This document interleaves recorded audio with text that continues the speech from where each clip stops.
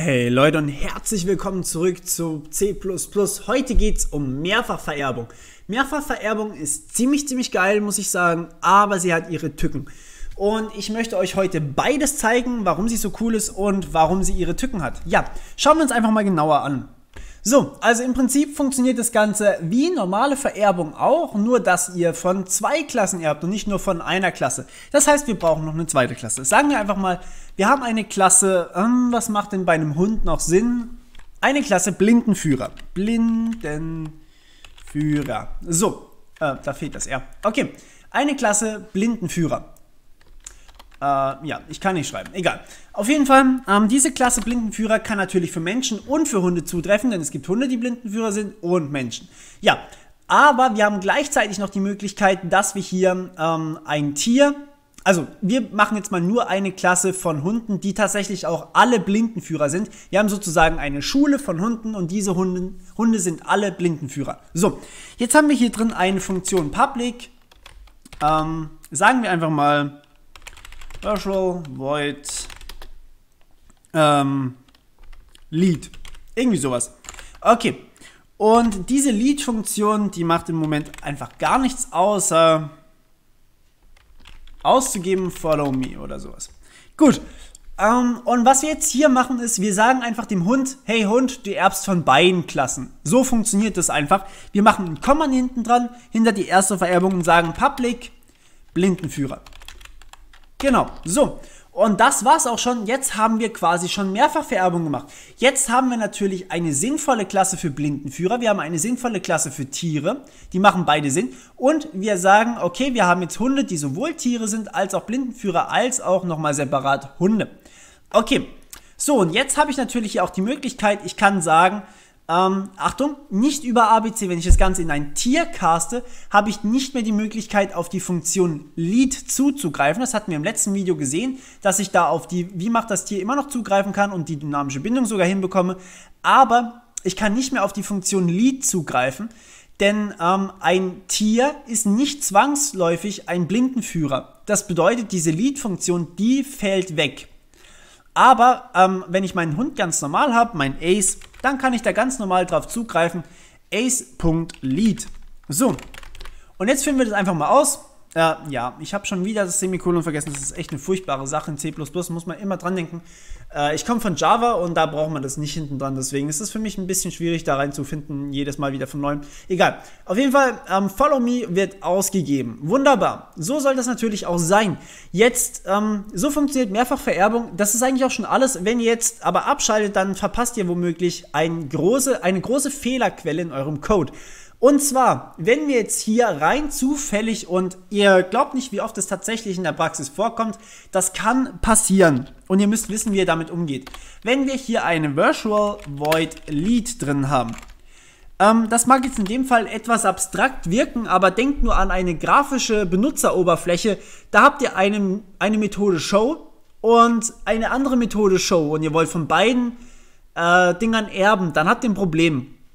Das heißt, wenn ihr in zwei Klassen, von denen ihr beiden erbt, dieselbe Methode drin habt, dann passiert was Furchtbares. Ich zeige es euch einfach mal. Cout ähm, Follow me, please. So. Und wenn ich das jetzt aufrufe, dann kriege ich einen Fehler. Denn, ähm, ja, wir haben hier eine ambiguous Methode. Ambiguous heißt, wir wissen nicht welche. Wir erben von beiden Klassen, sprich mein Hund ist ein Blindenführer und mein Hund ist ein Tier und ich rufe auf meinem Hund die Funktion Lead auf. Naja, was für eine Funktion soll jetzt hier aufgerufen werden? Es kann sich einfach nicht entscheiden, rufe ich jetzt dieses Lied auf oder rufe ich dieses Lied auf. Das macht ja auch keinen Sinn. Also ich meine, in unserem Fall ist es ein bisschen an den Haaren herbeigezogen, aber es passiert wirklich häufig, wenn ich eine Show-Funktion in der grafischen Oberfläche habe, wie gesagt zum Beispiel. So, was ich dann auf jeden Fall machen muss, ist, ich muss diese Funktion überschreiben, wenn ich das so unbedingt brauche und es nicht anders ändern kann. Also sagen wir mal, ihr arbeitet im Team und das muss auf jeden Fall in der Klasse Tier sein und das muss auf jeden Fall in der Klasse Blindenführer sein.